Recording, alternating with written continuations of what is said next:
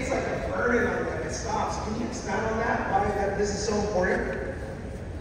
Uh, yeah, that's one of the things for me that really transformed my life. Uh, I was one of those people where I did care a lot. I grew up in a Mexican family where always, they were always worried what everybody was going to think about them. You know, I don't know if anybody has a similar experience, but I, that's how I grew up. So, you know, just sit in the corner, be quiet, don't don't make a you know don't make a, a fuss or whatever. And uh, I always uh, was worried what people thought about me. And then finally, I realized that that was not going to get me where I wanted to go. And I saw the people that were doing really well in life. They were bold, and they just did what they needed to do, and they didn't they didn't care what people thought about them. And so I made a decision that I wasn't going to do that anymore. I was not. I'm gonna. I'm a good person. I'm not going to hurt anybody. I'm not going to do anything that would injure somebody in any way, shape, or form. And so um, I just, I just, I just was going to be myself, and I was going to be bold, and I was going to be daring, and I was going to go for it. And whatever people thought, that's what they thought. I can't do anything about what you think about me.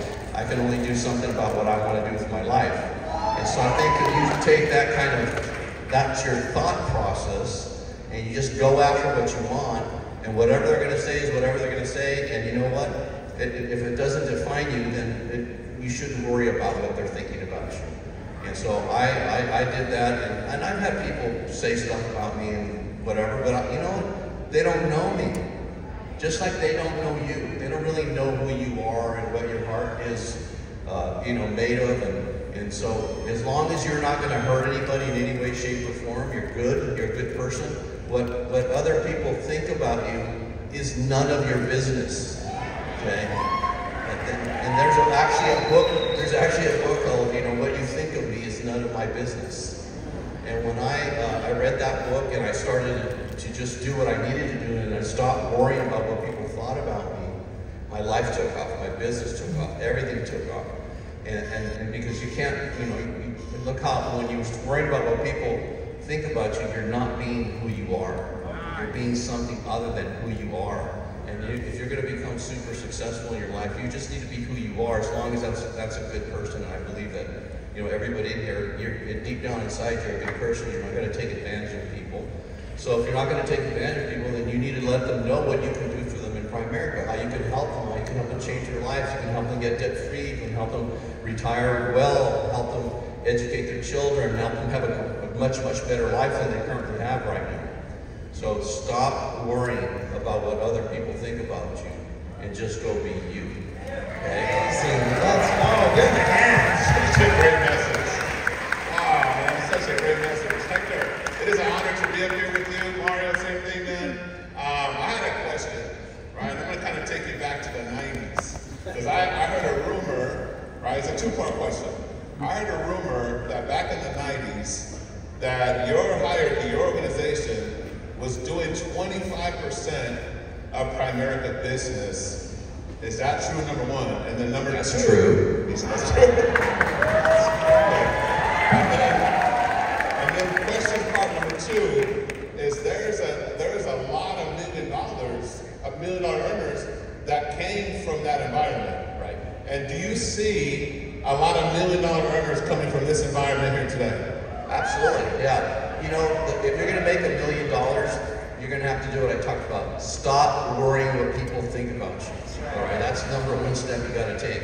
Because uh, if you're going to if you're going to become super successful, you know, people are envious. They'll take pot shots at you. They'll do all that stuff. But as long as you know who you are, don't worry about them. But you could definitely become a million dollar earner, multi-millionaire. I mean, I, I, I've made a hundred million dollars since I've been in Primerica. And so, and that was that was just because I did a couple things. One is like what these guys have done and they're doing right now. Uh, you build a big base shop. You got you got if you're not focused on building a big base shop in Primerica, uh, you're just not very smart. That's all there is to it. You're just smart. You don't get it. That is everything in Primerica. Building a big base shop and producing strong first generation RVPs is what's going to allow you to become a millionaire quicker. You know, that should be your focus every minute of every day. How can I get wider? How can I have more directs to me?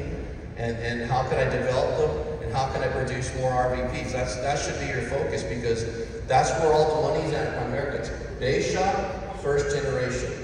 I mean, there's money down the line but that's where the big, big money is. If you look at right, like right now what um, Willie's doing right now, he's making half a million dollars a year. He's going to probably end up making. I think I think he'll be he'll be at ten million dollars in income probably in a, year or two because of the focus they have. This big base shop producing strong first generation RVPs. That should be what you should be thinking about every minute of every day in your Primerica business. And the truth is, every one of you can do that.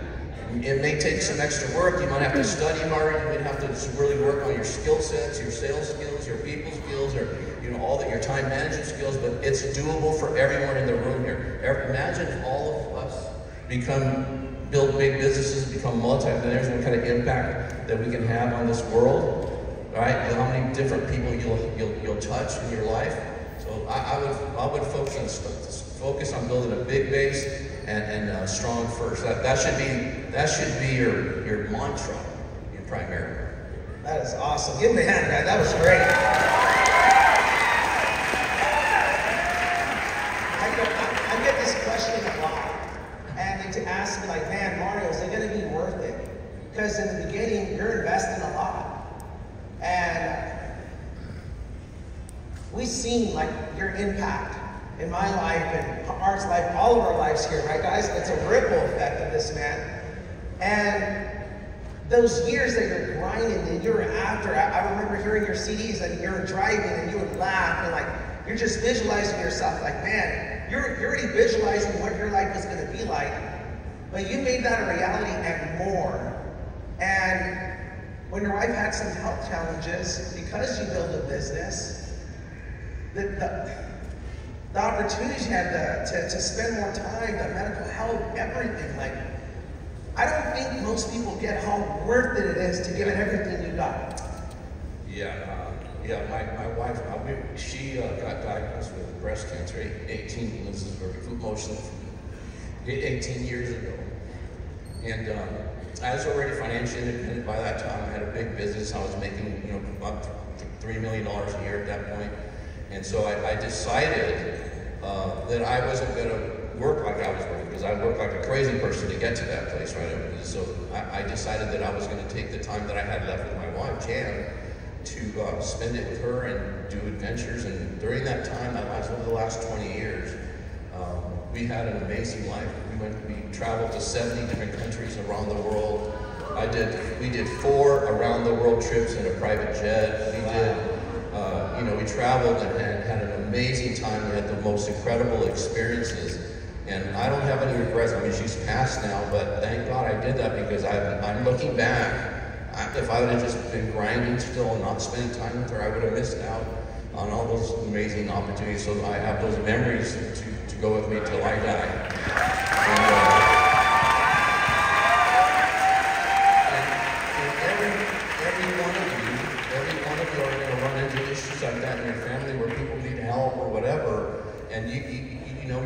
you have a business opportunity where you could be the go-to person here. So if something happens, they, they can go to you and you can you can help them. That that especially your immediate family, your children, you know, and your maybe your mom and dad and your brothers and sisters, you could really make a big big difference. And I think the thing is, is that because I did that, I have no regrets. And I think you want to have a life where there's no regrets. I, I, I did that, and I'm, I'm so glad. And, uh, thank God every day that I had the opportunity to do that in America. And during that last, you know, 18 years while we were doing all that, I wasn't working like I used to work, and I made $55 million during that time, not working. So imagine you took 18 years off and you still made $55 million. That's, that's the business you're in. That's the opportunity you have if you build it right.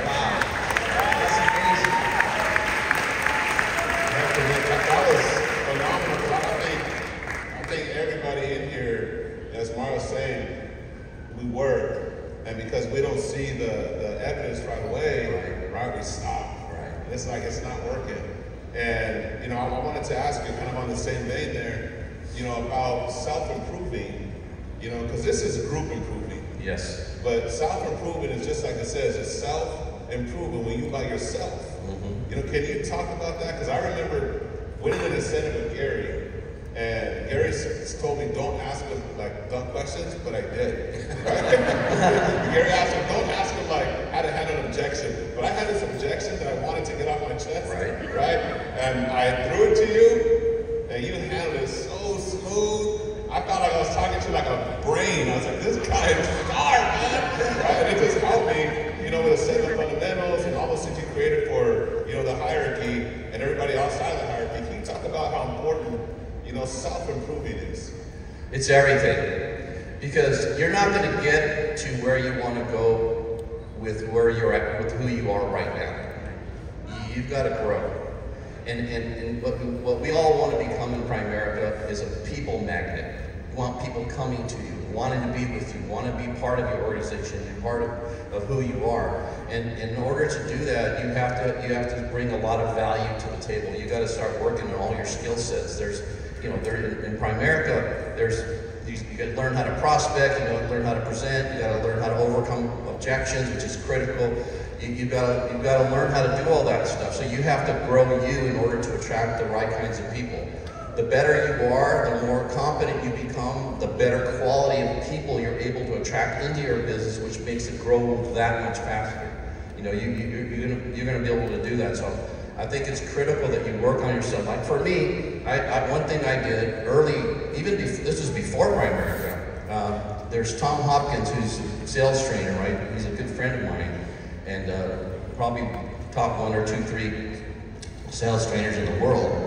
I, he had a program called How to Master the Art of Selling Anything. It was 12 audio cassettes. That was back when there was actually cassettes, right? Before your time, but that's I'm old. Um, and so I listened to that program. Honestly, I did this driving to and from work, which is basically an hour each way every day. I listened to that 12 audios every day, at least five days a week for three straight years. I stopped listening to the radio. I didn't listen to any other stuff. I stopped watching TV during that time, and I listened to those things.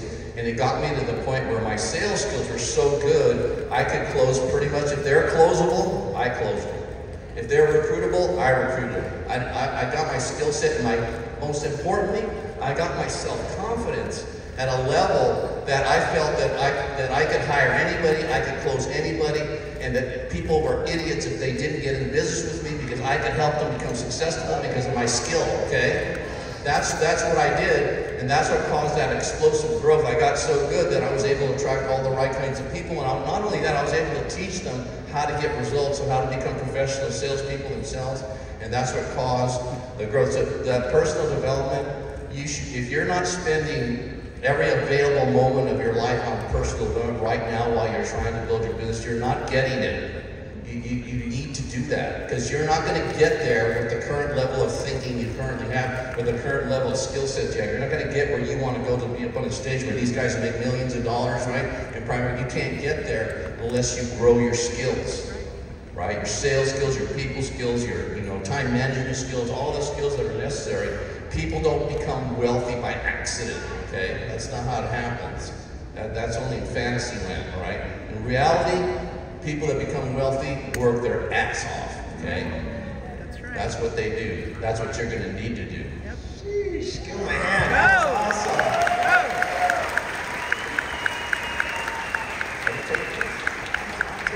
This is amazing. This is history. This is gonna be We're a- all taping this, right, guys? This is gonna be a good one. This is amazing. Hector, uh, what is one of the adversities in, in, in the beginning stage that you were building that you've seen most people get taken out, but man, this is where you thrive. Like, this is what made Hector Mark who the legend is today. Not just a legend, an icon. You're an icon in the company. Thank you. Um, so, what was that? What was that thing in the early the bit that you'd seen like anyone else would have got taken out with this, but this is how I responded. This is why. I Well, yeah, one of the things is when you're working with people, most people don't do anything. Have you noticed that yet? Yeah. Okay, so, so one of the things that I did in the first three years of my business, I was trying to help everybody. I, I was putting energy into everybody, spending time with everybody, and then I figured out, you know, not everybody's motivated. They just aren't. Some of you guys aren't really that motivated, okay? And we'll find out in the next two or three years if you are or not, because you'll either be here or you'll be gone, okay? One of the two. And so, what I, what I, in the, in the beginning of that third, uh, third year in, in Primerica, because the first years I was just figuring out how to do this thing right, then I I was wasting lots of time with the wrong people. I made a decision at the end of that third year that I wasn't gonna work with anyone that wasn't motivated. Anybody, period. If you're not motivated, I'm gonna be nice to you, good to see you, how's your family doing? Thanks for coming, but I didn't spend any time with people that weren't motivated. What does that mean? They had to show up to all the meetings, they had to listen to all the tapes and audios I recommended, they read the books, they, you know, they did all the work to grow their skills, they mastered the seven fundamentals. I was watching people's behavior, and if I saw they had the right behavior, then I, I was like, uh, you know, white on rice. I was spending tons of time with them, helping them, coaching them, you know, pushing them, that sort of thing. And so when I started only working with motivated people, my that's the next year I went from making like 50 some thousand to 80 to uh, 80,000 a year to 400,000 a year to 800,000 a year to a million to 2 million to 3 million. That that focus of only working with motivated people was the number one thing that caused the, the, the kind of explosive growth that I had. So you, you, all you have to do is watch people's behavior. They're going to tell you by their behavior whether they're worth investing in or not. Okay? Powerful. Hector, you know, growing up in the business, obviously, it's, you know, people think success is like this, right? It's really kind of like this, right? You know, and I know there's some people in this room here today that maybe they came here and they're kind of like battling, like, you know, if I'm gonna do it or I'm not, you know, and like, you know, if, if I hear something good, then, you know, I'll, I'll, I'll get more, uh, uh, convicted. Like, what, what would you say to, to somebody here, you know, that might be kind of, you know, on the fence? Because truth be told, I thought about quitting a million times. You know, and I actually did. I quit for like five minutes.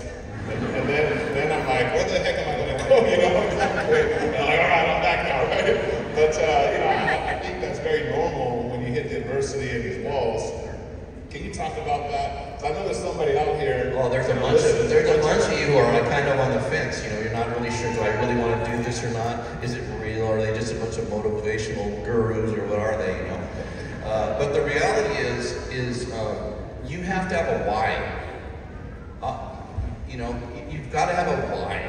Don't have a why, you never. When you have adversity or people quit or you get a rejection or whatever, you're you're going to want to quit. You're going to you're going to fold like a cheap tin. Okay. And so you have to have a very, you know, like for me, there was no way for me to quit because I had these huge aspirations, huge goals. I wanted to really be somebody. I wanted to get wealth. I, I wanted to get wealthy, and I'm not embarrassed to say that because being wealthy is freaking awesome. Okay. It is awesome. You know, it's the, the greatest thing is when you're wealthy. I get up every day. I do exactly what I feel like doing that day. Period. I, I don't care what you want me to do. I'm doing what I want to do, and I'm, I'm going to do it and have a great time doing it. Okay. And so, all of you have the potential to have a life like that, where you get to get up every day, you do what you want to do that day, and it doesn't matter what it costs or where it's at or what's going on. You know, like yesterday, I, I, um, I, I have some friends, uh, some other Primerica friends who live back east, and they just invited me to go on a you know two week golf vacation in, in, in Europe. Okay, so I said, okay, I'm in. Let's go because I don't I don't have to be anywhere. I you know this money's not an issue for me. So and I love golf. I'm a golf I'm a golf uh, addict. Okay, and so I'm going to do that. And that's the kind of thing where things come up, you get to do it because because you can right? And there's a lot of stuff that you aren't able to do right now, and I don't mean this derogatory, because you just can't afford it, right? There's all kinds of stuff that you would like to do, but money's the issue. Money's the issue for virtually everybody on the planet, by the way, okay? And you have a vehicle right here to make the kind of income and money that can allow you to have a magical life, an incredible life where you you have these awesome experiences. All of you have, you're in a room right now with three guys up here are multimillionaires, and they're going to make millions before they die, right? And, and, and you have that opportunity, but you gotta you gotta take advantage of it. Wow. You can't you can't just you can't just watch from afar. You you, you- gotta you gotta grow a pair if you, you know what I'm talking about. Okay.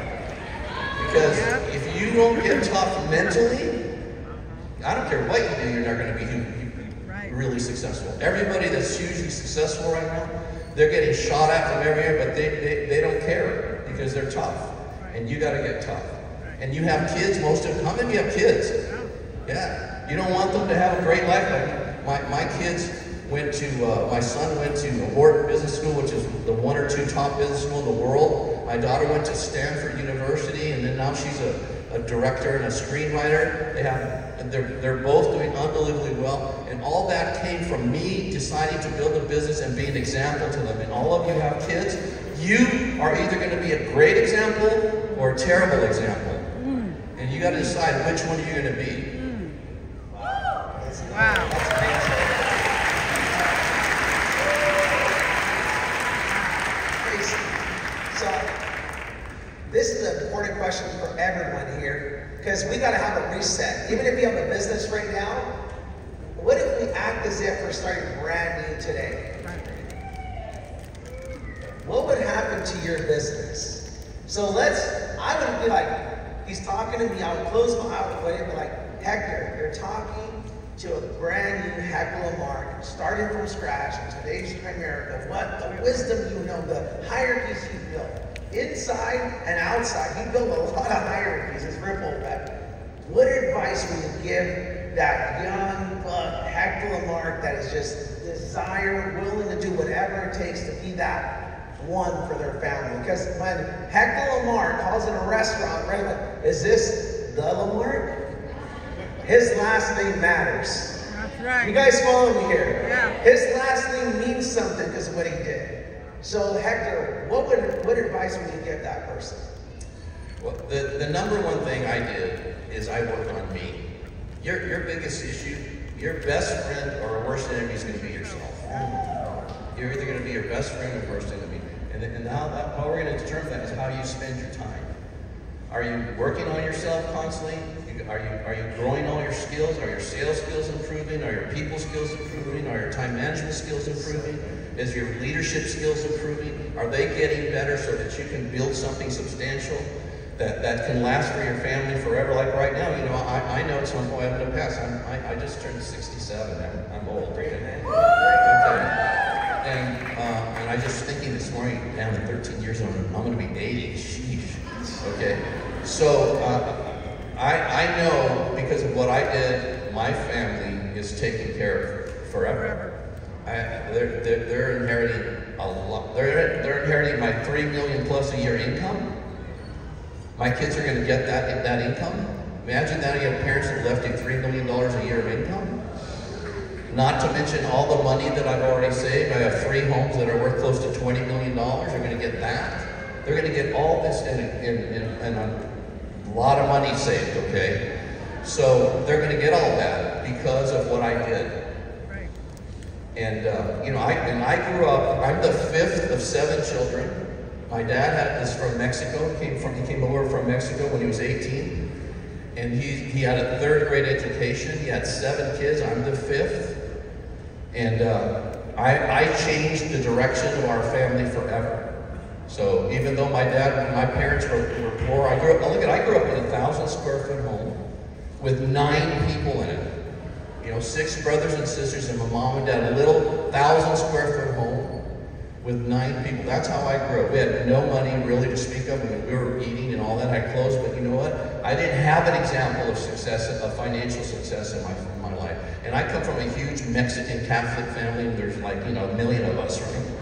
And, uh, and nobody in that family of mine, extended family, was such financially successful. Everybody worked like janitors and they worked in factories, but no success, nobody owned a business, nobody's successful. I didn't have one example of, of a person financially successful, and I figured it out. And you can too. But you got to pay the price and study and work on yourself and make yourself better. Make your turn yourself into a, a magnet that people want to be involved with you because of what you offer them. Okay. Powerful.